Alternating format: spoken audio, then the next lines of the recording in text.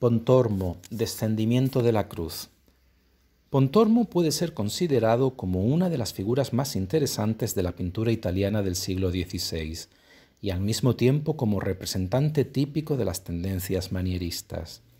Por medio de la deformación de las proporciones ideales del cuerpo, formas alargadas con cabezas pequeñas, la supresión de todos los elementos estáticos y la utilización de colores brillantes e irreales, Pontormo transporta los temas tradicionales de la pintura a una nueva esfera de trascendencia que en algunos rasgos tiene conexiones con la Edad Media.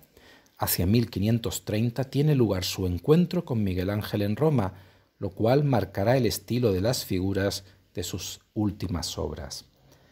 El descendimiento de Pontormo es una de las creaciones de la pintura anticlásica que marcarán las pautas para el futuro ni siquiera se puede definir claramente el tema.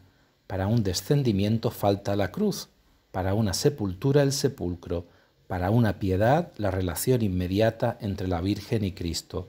Por su propia naturaleza, la pintura sólo puede plasmar un momento.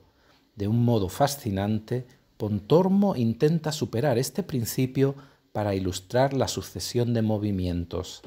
Aquí parecen estar representados los distintos momentos de un descendimiento de la cruz, que se asocian para sugerir que el descendimiento puede suceder en cualquier momento. Las figuras están unidas por una línea en serpentina que aparece varias veces en el cuadro, con una fuerte tendencia descendente, como se pone de manifiesto en la figura de la Virgen y la diagonal que se dirige hacia abajo a la derecha.